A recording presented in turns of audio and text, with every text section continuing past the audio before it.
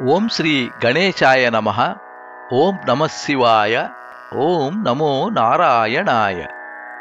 పద్మపురాణంలోని కార్తీక పురాణం ఇరవై నాలుగవ రోజు పారాయణం పదిహేడు పద్దెనిమిది అధ్యాయములు. పదిహేడవ అధ్యాయము. ఇక ఇక్కడ యుద్ధరంగంలో అతిలోకమైన శివశౌర్యానికి చిన్నబుచ్చుకున్న జలంధరుడు పునః ఈశ్వరుని సమ్మోహింపజేయదలిచి మాయాగౌరిని సృష్టించాడు. ఒక రథంపై కట్టివేయబడి నిశుంభాది నిశాచరుల చేత వధింపబడుతూ ఉన్న ఆ మాయాగౌరిని చూశాడు శివుడు. చూసి చూడగానే ఉద్విగ్న మానసుడైన ఉగ్రుడు యుద్ధాన్ని తన పరాక్రమాన్ని కర్తవ్యాన్ని విస్మరించి ఉదాసీనుడైపోయాడు. అదే అతనుగా జలంధరుడు ఆ పుంఖశాణయకాలైన మూడు బాణాలను శివుని శిరస్సుపైన వక్షస్థలంపైన ఉదరమందున ప్రయోగించాడు. అయినా ఈ జంగమయ్యలో చరణం లేదు. అటువంటి సమయంలో అదంతా రాక్షసమాయగా బ్రహ్మదేవునిచే బోధింపబడిన వాడై కోలుకొనిన ఆ పరమేశ్వరుడు జ్వాలామాలతి భీషణమైన రౌద్ర రూపాన్ని ధరించాడు. ఆ స్వరూపాన్ని చూసేందుకు సైతం శక్తి చాలక అనేక మంది రాక్షసులు పారిపోసాగారు.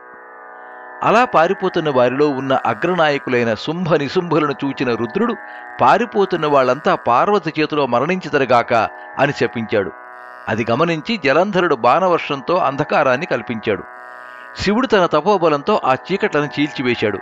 ఉడికిపోయిన జలంధరుడు పరిఘాయుధంతో పరుగు పరుగును వచ్చి ఈశ్వరుని వాహనమైన యుద్ధును భయంకరంగా కొట్టాడు. ఆ దెబ్బకు నంది యుద్ధరంగం నుండి పరుగు తీయసాగింది. దానిని మళ్ళించడం సాంబశివునికి కూడా సాధ్యం కాలేదు. ఎక్కడ లేని కోపం వచ్చింది రుద్రుడికి. వెనువెంటనే సుదర్శన చక్రాన్ని ప్రయోగించాడు. భూమి ఆకాశాలను దహింపచేసి వేయగలిగినంతటి వేగవంతమైన ఆ చక్రం చూపరులను భయభ్రాంతులను చేస్తూ వెళ్ళి జలంధరుడి తల నరికి నేలపై పడవేసింది. అతని మొండెల్లోంచి వెలువడ్డ తేజస్సు ఈశ్వరునిలో లీనమైపోయింది. బ్రహ్మాది దేవతలందరూ సంతోషాతిరేకులు అవనత శిరస్కులు అయి ఆ చంద్రశేఖరునికి పరణమిల్లారు స్తుతించారు. కృతజ్ఞతలు చెప్పుకున్నారు.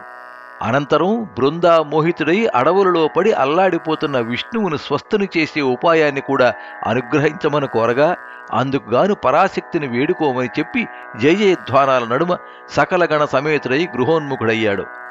శివాజ్ఞ ప్రకారం దేవతలు మహామాయను ప్రార్థించసాగారు.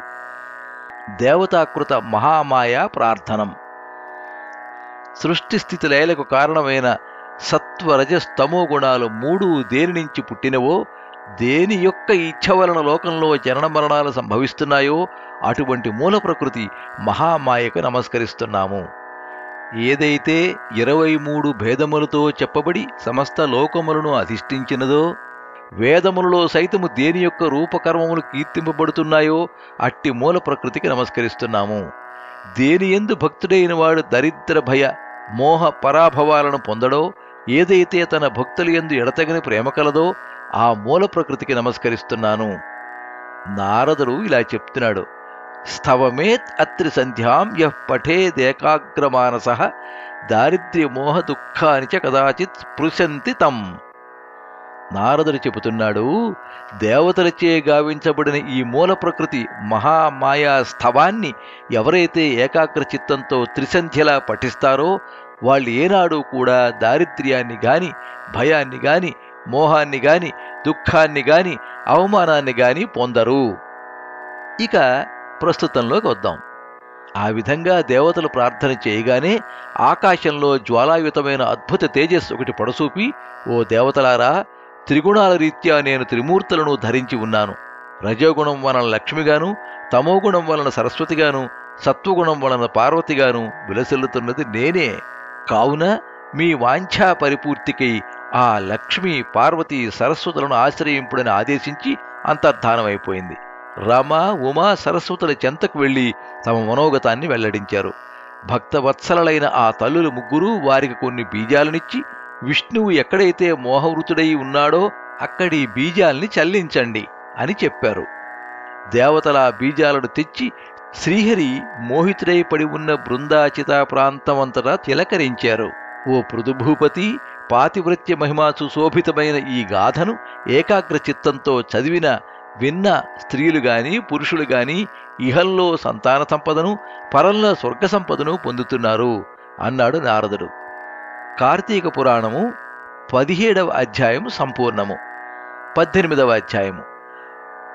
పునః నారదుడు ప్రవచిస్తున్నాడు. ఓ పృథు మహారాజా పూర్వోక్త విధంగా బృందా చితాస్థలిలో దేవతలచే చల్లబడిన బీజాల వల్ల త్రిగుణ శోభితాలైన ఉసిరి మాలతి తులసి అనే మూడు రకాల వృక్షాలు ఆవిర్భవించాయి. వీటిలో సరస్వతి వలన ఉసిరిక లక్ష్మి వలన మాలతి గౌరి వలన తులసి ఏర్పడ్డాయి. అంతవరకు బృందామోహముతో మందుడై ఉన్న విష్ణువు తన చుట్టూ చెట్లై మొలిచిన లక్ష్మీ సరస్వతి పార్వతి మహిమల వలన కోలుకున్నవాడై అనురాగపూరిత హృదయంతో ఆ వృక్షాలను తిలకించసాగాడు. కానీ వాటిలో లక్ష్మీదత్త బీజాలు ఈర్ష్య గుణాన్వితాలై ఉండటం వలన ఆ బీజోత్పన్నమైన మాలతి బర్భరీ నామధేయమై విష్ణువునకు ఎడమయ్యింది. కేవల అనురాగపూరితాలైన ఉసిరి తులసి మాత్రమే పీతాంబరునకు ప్రియాంకరాలయ్యాయి. తద్వారా విష్ణువు మోహ విముక్తుడై ధాత్రి తులసి సమేతుడై సర్వదేవతా నమస్కారాలను అందుకుంటూ వైకుంఠానికి తరలి వెళ్ళాడు అందువల్లనే కార్తీక వ్రతంలోని విష్ణు పూజలో ముందుగా తులసిని పూజించినట్లయితే పొండరీకాక్షుడు ఎనలేని సంతోషాన్ని పొందుతాడు. అంతేకాదు ఎవరింటిలో తులసి వనం ఉంటుందో ఆ ఇల్లు సరస్వతీ తీర్థ స్వరూపమై వర్ధిల్లుతుంది. యమదూతలు అక్కడికి రాలేరు. సర్వపాప సంహారకమైన ఈ తులసీ వనాన్ని ఎవరు ప్రతిష్ఠిస్తారో వారికి యమధర్మరాజును దర్శించే పని ఉండదు. అనగా నరకానికి వెళ్ళరని పుణ్యాత్ములై స్వర్గాన్నే పొందుతారని భావము. గంగా స్నానం నర్మదా దర్శనం తులసీ సేవనం ఈ మూడు సమాన ఫలదాయకాలేనని చెప్పబడుతోంది. తులసిని ప్రతిష్ఠించినా తడిపినా తాకినా పెంచినా మానసిక శారీరక పాపాలే కాక మాటల వలని పాపాలు కూడా మటుమాయమైపోతాయి. తులసి గుత్తులతో శివకేశవులను అర్చించినవాడు ఖచ్చితంగా మోక్షాన్ని పొందుతాడనడంలో ఎటువంటి సందేహము లేదు. పుష్కరాది తీర్థాలు గంగాది నదులు విష్ణువాది దేవతలు తులసి దళాలతో నివసిస్తూ ఉంటారు. ఎన్ని పాపాలు చేసినవాడైనా సరే ఎవడైతే శరీరానికి తులసి మట్టిని పూసుకుని మరణిస్తున్నాడో అటువంటి వారిని చూసేందుకు యముడు కూడా భయపడతాడు. అటువంటి వాడు విష్ణు సాహిత్యాన్నే పొందుతున్నాడనడం సత్యం సత్యం ముమ్మాటికి సత్యం.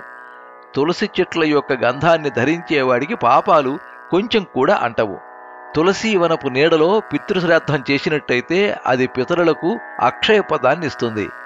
ధాత్రి మహిమ ఉసిరిక మహిమ. ఉసిరి చెట్టు నీడను పిండ ప్రదానం చేసిన వారి పితరులు నరకం నుంచి విముక్తులవుతారు. ఎవడైతే తన శిరస్సుపైన ముఖమందున దేహమందున చేతులందున ఉసిరి ధరిస్తున్నాడో వాడు సాక్షాత్ విష్ణు స్వరూపుడని తెలుసుకోవాలి. ఎవడి శరీరంపై ఉసిరిక ఫలము తులసి ద్వారకోద్భవమైన మృత్తిగా ఉంటాయో నిస్సందేహంగా వాడు జీవన్ముక్తుడేనని తెలుసుకో. ఉసిరి పండ్లని తులసి దళాన్ని కలిపిన జలాలతో స్నానమాడిన వాడికి తక్షణమే గంగా స్నాన ఫలితం లభిస్తుంది. ఉసిరిపత్రితో గాని ఫలాలతో గాని దేవతా పూజ చేసిన వాడికి ముత్యాలతోనూ మాణిక్యాలతోనూ బంగారంతోనూ ఆరాధించిన ఫలం ప్రాప్తిస్తుంది. సూర్యుడు తులాగతుడైన కార్తీక మాసంలో చేయబడే యజ్ఞయాగాదులు తీర్థసేవనలు విశేష ఫలితాలనిస్తాయి సమస్త దేవతలు మునులు కూడా ఈ కార్తీక మాసంలో ఉసిరిక చెట్టును ఆశ్రయించుకుని ఉంటారు. ఏ నెలలోనైనా సరే ఎవడైతే ద్వాదశి నాడు తులసి దళాలను కార్తీకం ముప్పది రోజులలోనూ ఉసిరికపత్రిని కోస్తున్నాడో వాడు నింద్యాలైన నరకాలనే పొందుతున్నాడు. కార్తీక మాసంలో ఎవడైతే ఉసిరి చెట్టు నీడను భోజనం చేస్తాడో వాడి యొక్క ఒక సంవత్సరపు దోషం తొలగిపోతుంది. ఉసిరి నీడని విష్ణు పూజ చేసినట్టయితే అన్ని విష్ణు క్షేత్రాలలోని శ్రీహరిని ఆరాధించిన పుణ్యం కలుగుతుంది. శ్రీహరి లీలలని మహిమలని చెప్పడానికి ఏ ఒక్కరికి కూడా ఎలాగైతే సాధ్యం కాదో అదే ప్రకారం ఈ తులసీధాత్రి వృక్షాల మహిమల్ని చెప్పడం కూడా చతుర్ముఖుడైన బ్రహ్మకు గాని సహస్రముఖుడైన శేషునికి గాని సాధ్యం కాదు. ఈ ధాత్రి తులసి జనన గాథ ఎవరు వింటున్నారో వినిపిస్తున్నారో వాళ్ళు తమ పాపాలను పోగొట్టుకున్నవారై తమ పూర్వులను కూడి శ్రేష్టమైన విమానంలో స్వర్గాన్ని పొందుతున్నారు. ఇది పద్మపురాణంలోని కార్తీక పురాణం పదిహేడు పద్దెనిమిది అధ్యాయములు ఇరవై నాలుగవ రోజు పారాయణము సంపూర్ణం. ఓం నమశివాయ ఓం నమో నారాయణాయ. సర్వే జనా సుఖినో భవంతు.